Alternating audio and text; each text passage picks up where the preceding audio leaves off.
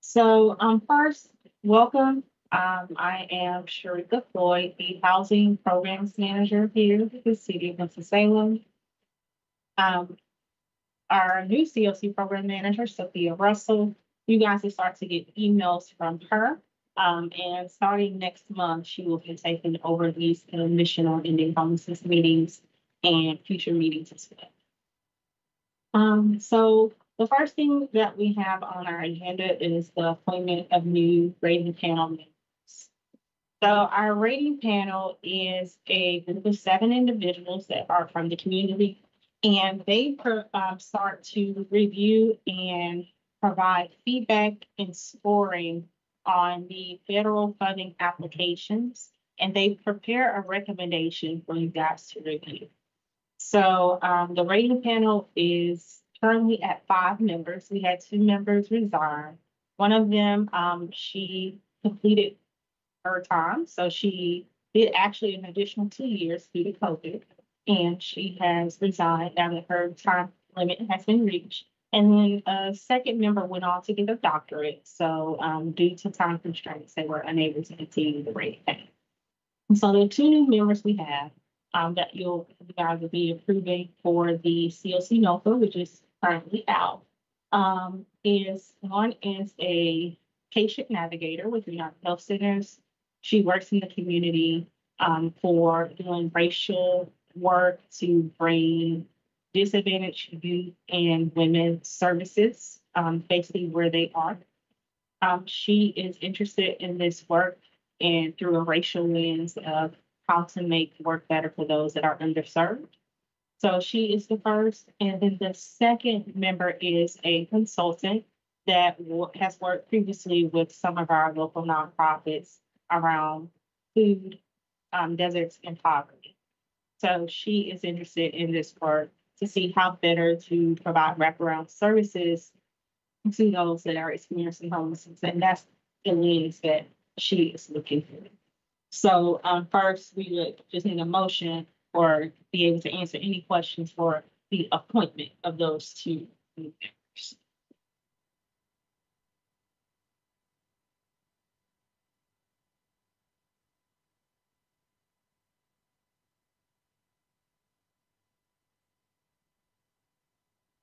I would agree to the appointment of the new members. Do we need to make motions, Sharika? Yes, please.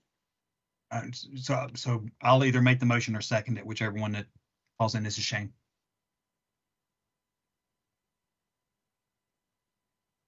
I make the motion to accept. Okay. Or Trina, you, approve. uh, Um, you wouldn't be able to accept it because you're one of the funders. Oh, Then, then I'll make the motion and we'll look for a second. That'll, that'll work. And I second, Th- this is Richard. Thank you, Richard. Um, so the CES update. It has been a wild ride for us creating, um, as you guys know, we did a redevelopment of the Commission on Ending Homelessness. And, uh, I'm sorry, for, of the COC. So we did a restructure of the governance charter. We started there.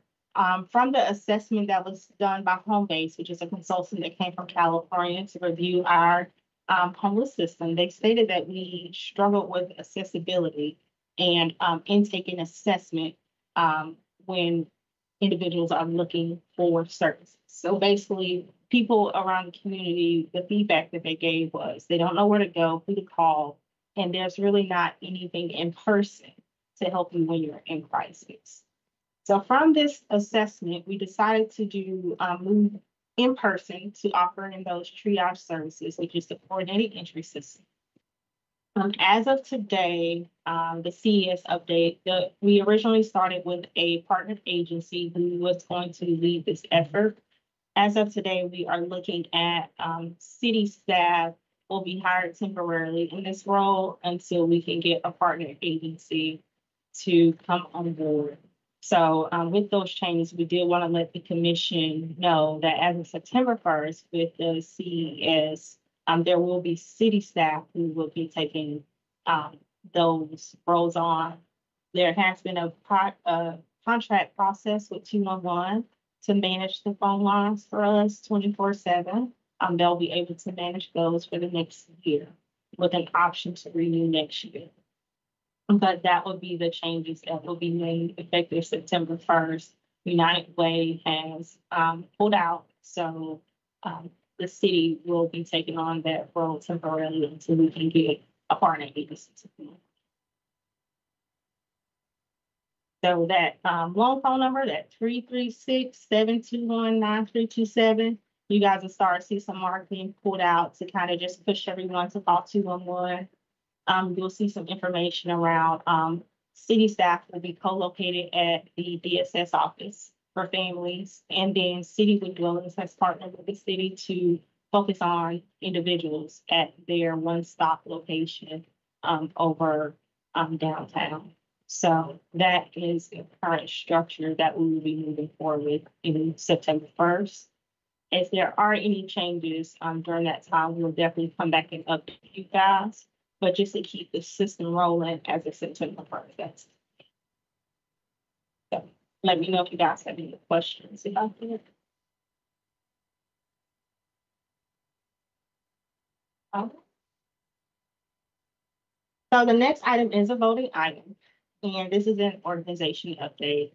Um, NOFA, so it is the funding time, so, um, we are working away on applying for next year's funding, uh, which is an average of usually two point eight million dollars for those that are experiencing homelessness. With that, a lot of our agencies have changed their mission or changed direction with their new executive directors. So um, this has caused us to have to change some of the recipients of those grants to keep these programs running. Um, HUD provided some information. I'm gonna um, send this out to you guys, but HUD provided um, basically a one pager of what a, a policy that needs to be created um, in case there is a situation like this that occurs. Um, and that does have to be approved by you guys. So I will send that out to you guys because I've just finished it yesterday. So I will send that out to you guys to read and then you can vote um, via email. But um, basically what this policy entails is when there is an agency that chooses to pull out from receiving their federal grant, we have a way to place people um, or other aid, partner agencies or whoever in that recipient role so that these programs don't stop. Right now, we have about three programs. Um, one was the CES program, and then the other two are actual housing programs. So pro- um, project-based voucher programs where the recipients are pulling out. And in order to keep those funds going, we want to make sure that we can place additional recipients in those roles so individuals don't lose access to their housing or their vouchers.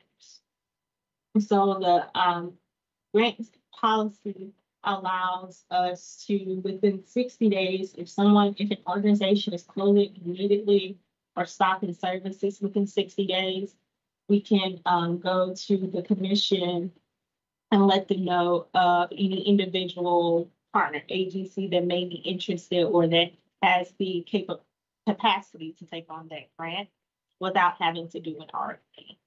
So um, in doing that, we would have to um, provide a transition plan to you guys and also provide information around the type of performance that this um, subrecipient has had, also their feasibility as far as finance, financial feasibility and things like that. Um, if it is within more than sixty days, then the idea is that we would issue an RFP and or a letter of intent to get applications to see who are interested.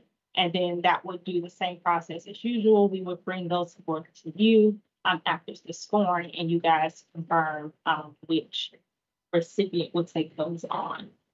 So this was created um, just as the year has started with a lot of changes in um, different eight partner agencies not being able to continue the grants, just having something in place that allows the system to continue going um, when we need to put someone in place of um, notice.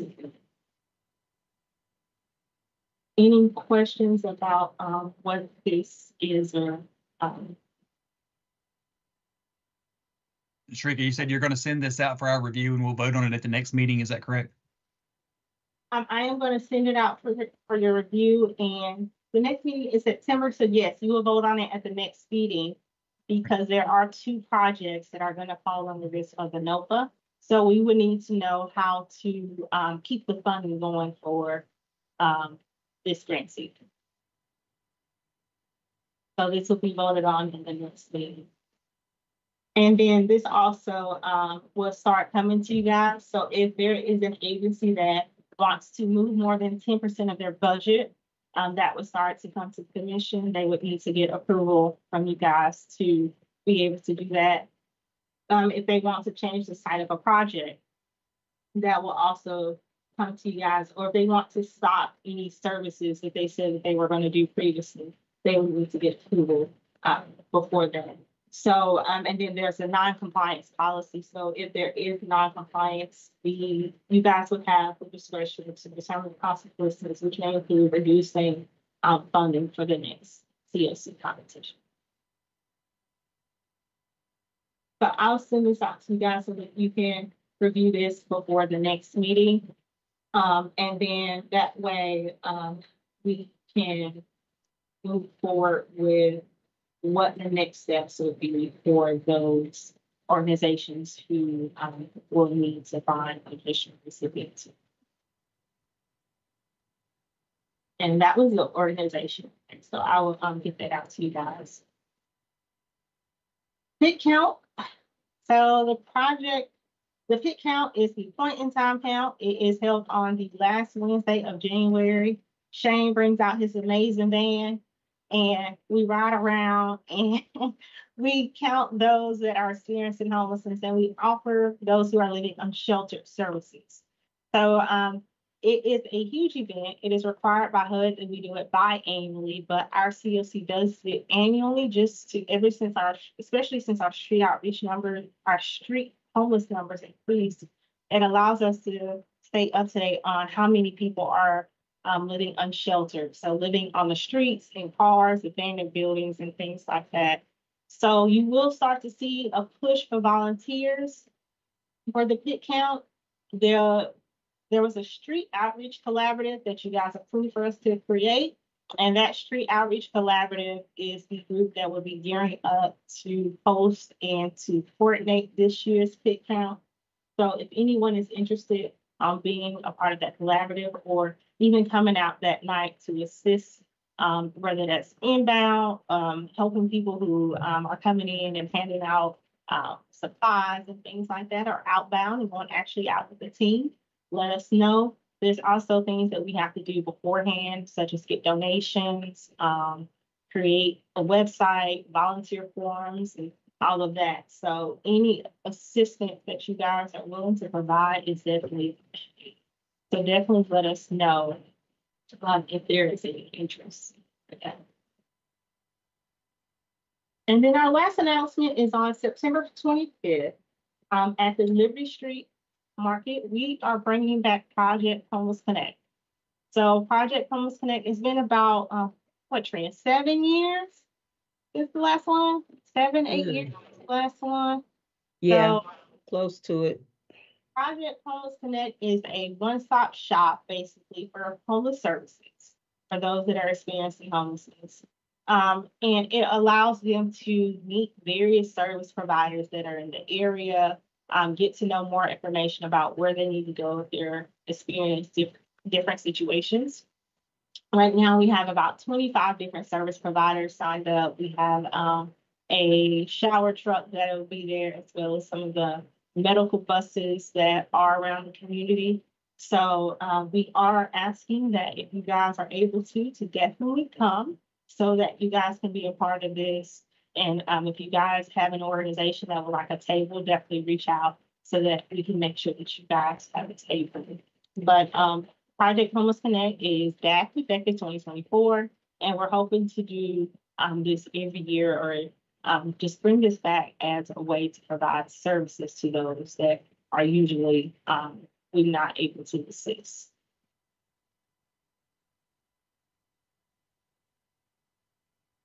So kind of a short meeting today. Um, the only other update that we have is that next time we meet, you guys will be voting on the federal funding applications, which was supposed to happen this meeting, but HUD delayed the release. So, um, we are looking at doing two different applications. Um, one for, um, COC builds. This is a new application that we released. We're looking more into it, um, to see, um, if it is possible and what projects may be possible for this one. This is to build housing. Um, it is one of the first notice of its time. So that is the first one. And then the second one is your annual notice of funding opportunities for COC funds that you guys vote on every year. So, um, this is the first year it will be biannual. So, um, they have moved that process to a biannual process, so you guys will be voting on the grants for this year which will automatically be approved next year, but we will still come to you guys next year to, to determine based on performance, if anyone needs to be decreased, um, re, reallocated to another agency, or if there needs to be new agencies added on. So, um, that is gonna be the new process effective this year, um, for those funds. So the next meeting, you guys will be voting on all of those, um, funding allocations. Any questions before we adjourn?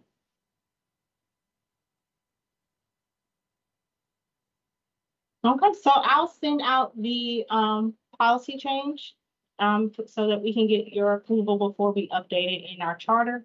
Uh, once we get the approval, we will update it in a charter and we will be back next month to share with you guys the funding recommendations for your approval for the next year's um monies that are coming to us for COC.